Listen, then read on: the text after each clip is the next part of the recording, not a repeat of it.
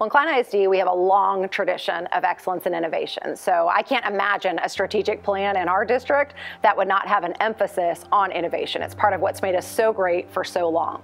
However, in this moment, as we were putting together our strategic framework, one of the things that really came from the community, from our students who are sitting at the design table with us, and from our leaders and teachers was that it was important to make sure we kept our focus on innovation because innovation is what keeps these strategic priorities relevant, meaningful, adaptable, versatile to a world that is always changing, to conditions that are always changing. And so this time, the commitment to innovation was really about thinking of the world that we're in, how rapidly things continue to evolve, and wanting to make sure that the excellent education that we provide our students is relevant and applicable to the world we're preparing them for. I'll never forget, uh, this was probably after about three of our sessions together as a strategic planning team, when our students came in and really started to evaluate some of the ideas and some of the things that we were planning for the future, and how much what we had worked on changed because of the voice and the perspective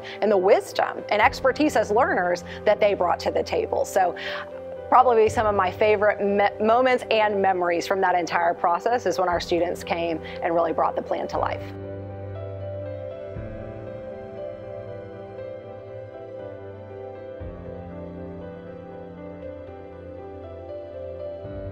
So proud of Klein ISD for, for offering these innovation challenges to students because it allows them to use design thinking within their curriculum and their teachers can guide their processes. So by the time they are moving through the next grade, moving into the next group of grades, they're able to use critical thinking skills at a, at a really high level in order to help them move towards their educational goals.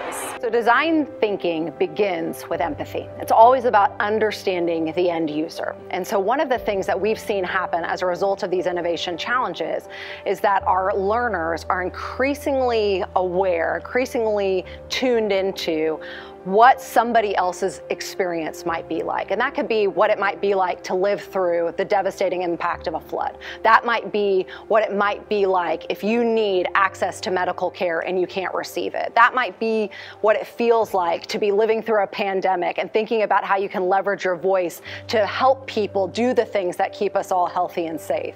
And so, what the Innovation Challenge has helped us really drive deep into the culture of the classroom in Klein ISD is the idea that design thinking thinking starts with empathy. Channel 2 News begins right now with a severe weather alert. And we are back with coverage of our flood catastrophe. People are still stranded in neighborhoods at this hour. Rescues happening nearly every minute. Families, children, pets saved from the rising floodwaters. Images that range from heartbreaking to uplifting. If I close my eyes and I think about when Harvey hit our Klein community, and I remember being in one of our buildings, which we had converted to a shelter for people all over the greater Houston area. And when I think about the way that our community initially rallied around these folks, whether they lived in our Klein community or not, because again, people were being brought to these shelters from across the greater Houston area. I think about that initial response. And then when I think about what happened with Water Warriors, where then not only was it a community act of care and service, but then our learners started to marry up their curriculum with really solving problems that had directly impacted people they knew, uh, something they hadn't just seen on the news someplace very far away, but something they had experienced on their own street or in a school down the road what we saw was that students were able to switch from just focusing on the problem to thinking about how they might prevent such problems from ever occurring again in the future. And so that spirit of service became not just the physical hands and feet of getting in a shelter and passing out clothes and making sure that people had a safe place to sleep and food to eat, but it also became an intellectual exercise of how can I make sure that I use the gifts, talents, and abilities that I have to serve the world that I'm a part of.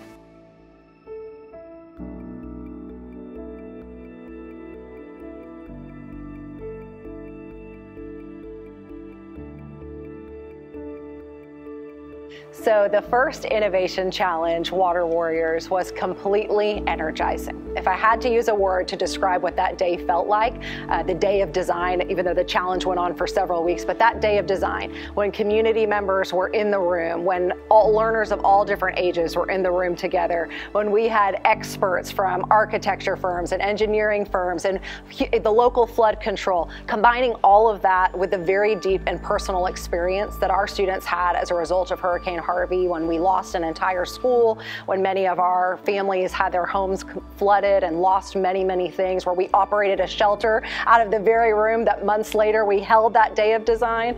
Wow. Uh, what we saw in those moments was what was possible for the future of education. I'm here at Day of Design Klein Water Warriors. This is an amazing place to be today. We have over 250 teams of students, almost 2,000 kids that are here at KMPC and the Teaching and Learning Center, and we have nearly 100 industry partners who have come out today from their offices and where they normally spend their time to work with our students on how to build a prototype of a flood barrier that could protect you from flooding. Inflatable wall that goes around and if you see this this foam would be um, HEM, which is the stuff that's in diapers, and it would absorb it if the water ever got over the wall.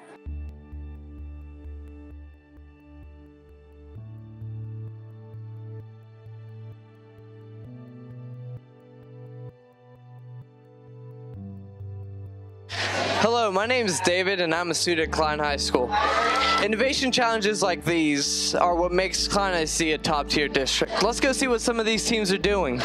Hello guys, what, what school are y'all from? Doerre. Doerre. What grade are y'all in? Sixth. Sixth grade? Wow, that is young. Okay, what are y'all working on? Um, our proposal. What is y'all's project? Um, Sending a marshmallow into space. Yeah. Yeah. Y'all are gonna send a marshmallow into space. That's amazing. One of the things we know is that in the working environment today, people don't walk into conference rooms or get selected for teams based on how old they are. And yet, so much of our traditional education system centers around how old someone is, and then we create these standards, which sometimes can be very empowering, but often can be very limiting for learners. So, one of the things that started with the Innovation Challenge was this idea that you may be in third grade, but it might be most important appropriate for the problem you're trying to solve to be working with a sixth grader. Or you may be someone who's in 10th grade and it might be most important for you to be collaborating with someone who's in seventh grade who's on this particular track or has this particular passion and expertise. And so treating learners like uh, the way we want and know they will be treated in their working environments in the future has really helped to transform some of the stages and cages we've created that don't always serve all learners well.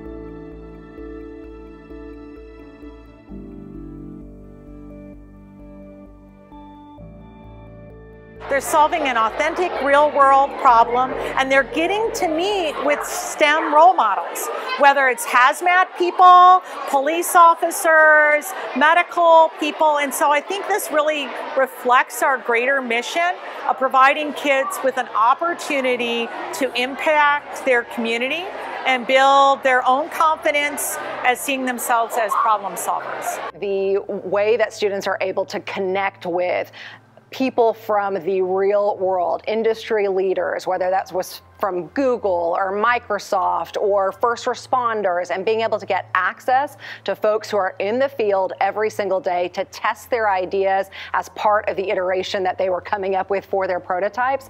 That's how we really see innovation and the Innovation Challenge in particular helping us bring reimagined learning and build community to life people will say to us in our community, well, we want to get involved in the schools, or I've got expertise in this. And uh, at times we can struggle to find meaningful ways for them to engage with our learners. But Innovation Challenges makes those conversations, those opportunities for collaboration and partnership in learning something that's very real and possible uh, for our students.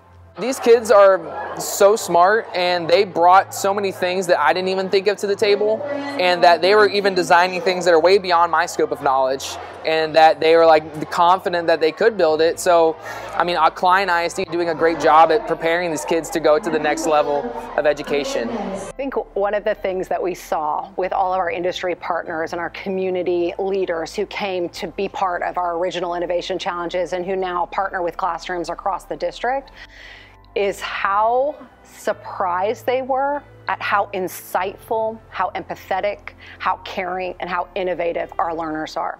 My name is Andrew Aberry, and I have autism.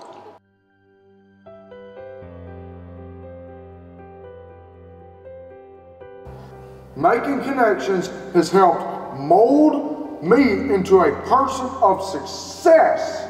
I am very lucky to have such a great support system to support me through my education journey.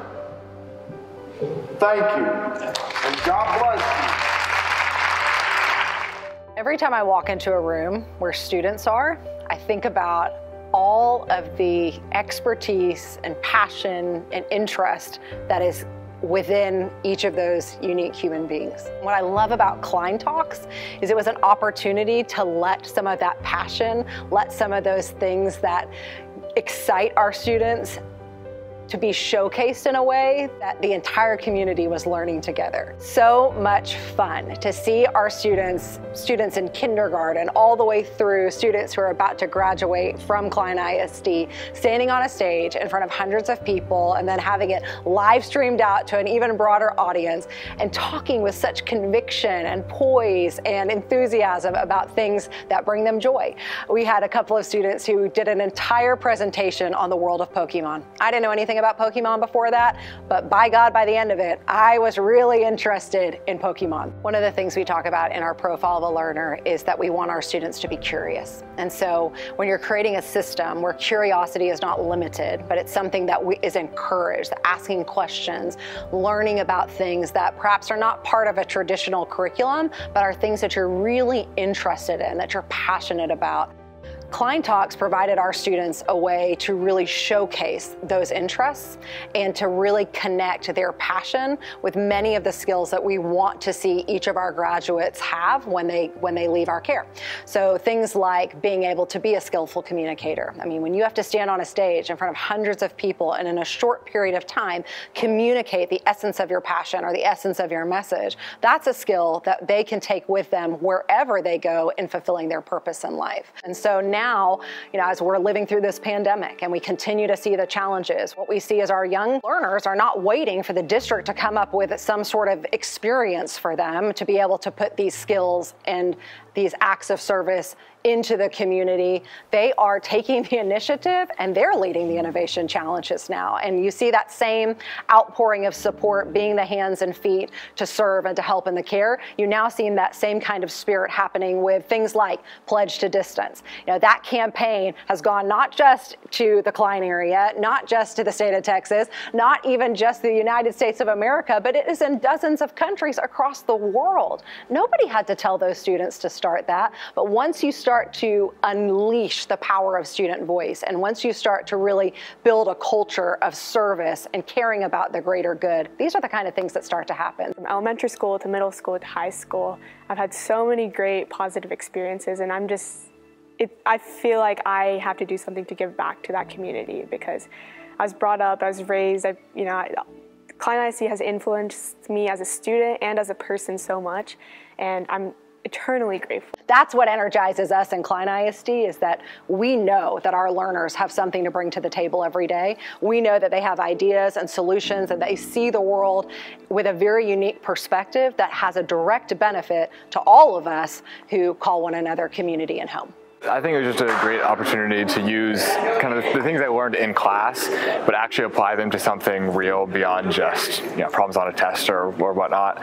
So it, for me, it was, it was, an opportunity to, to, take my knowledge to the next level and um, actually find a way to, um, to innovate. Innovation challenges were an event. They were something that happened with a single day of design that was kind of the culmination of students working through the various iterations of their design and their prototypes. But now what we see is that the spirit of innovation challenges is directly in the classroom. That students have, because of these experiences, teachers, because of these experiences, and community members, industry leaders, what they've seen is these are things that we can do every single day in the classroom. We can leverage technology to remove the boundaries of time and space so that our students have access to this kind of innovation and this kind of intellectual, complex, critical thinking challenges every single day.